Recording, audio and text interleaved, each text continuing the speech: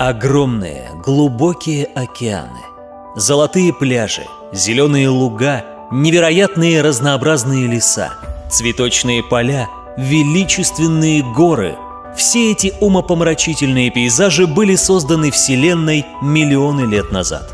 Красиво, правда? Наша планета так прекрасна и разнообразна. Многомиллионные мегаполисы, жизнь в которых не затихает ни на миг. Фантастические здания, грандиозные мосты и каналы, чудесные изобретения. Завораживающая музыка, побеждающее время картины. Человеческим гением создано много всего, чем мы восхищаемся – есть много чудесных вещей, без которых мы уже не можем представить себе повседневной жизни. Когда смотришь на все это, кажется, что жизнь на планете идеальна. Но есть и обратная сторона медали.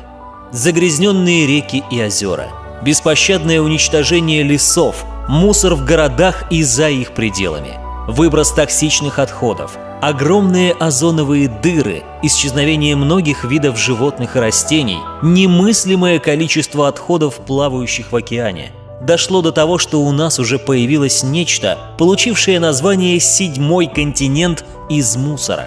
Неужели вам приятно жить в таких условиях? А вы задумывались над тем, кто в этом виноват? К сожалению, все плохое, что происходит на планете, напрямую связано с поступками и деятельностью человека – Войны, голод, бюджетный дефицит, планомерное уничтожение нашей экологии – все это в итоге может повлечь за собой самые худшие последствия. Конфликт человека и природы достиг критической точки и угрожает существованию всего живого на планете.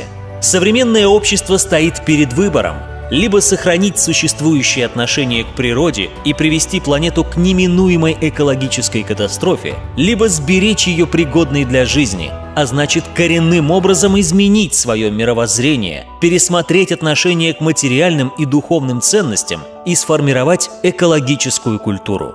Экология – это изучение усилий человечества по ухудшению жизни на Земле. Виктор Кротов Человечество усердно перерабатывает природу в мусор. За время индустриализации мы нанесли экологии такой немыслимый урон, которого до нас не удалось достичь тысячелетиями. Как можно настолько поверхностно и безответственно относиться ко всему вокруг?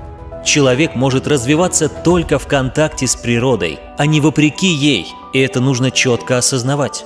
Крупные катастрофы, уже разрушившие и продолжающие разрушать современный мир, происходят от пренебрежения человека законами природы, от нежелания понять, что голод нельзя утолить, опустошая землю.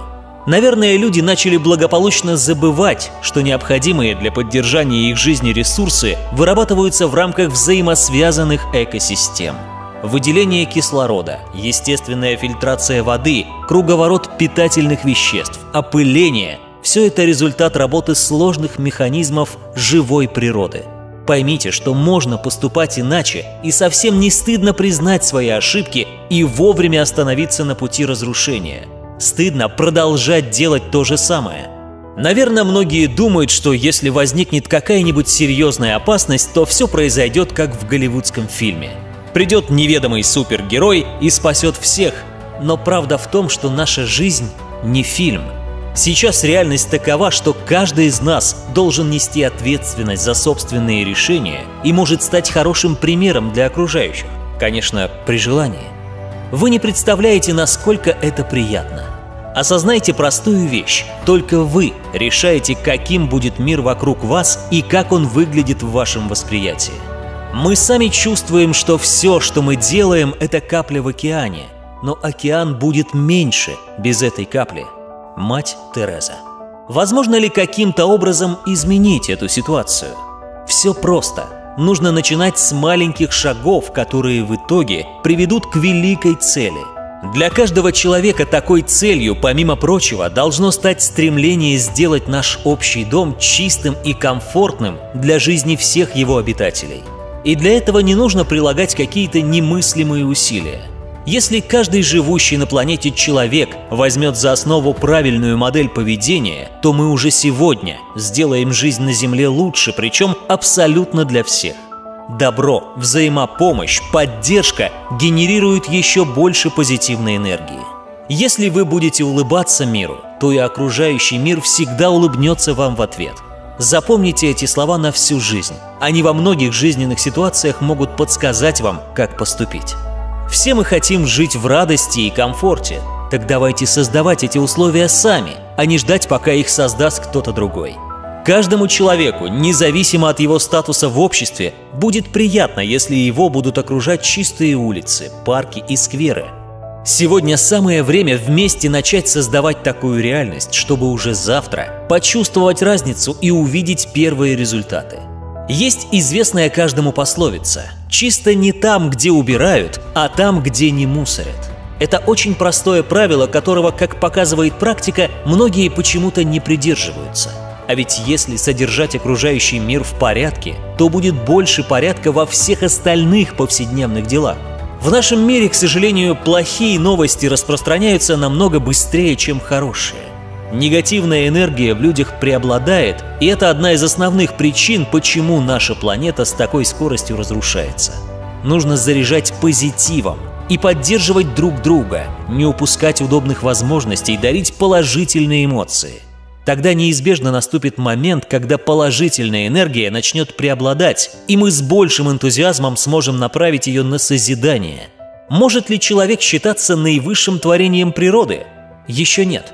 Нам предстоит долгий путь. Мы либо создадим рай на земле, либо уничтожим себя и будем преданы забвению.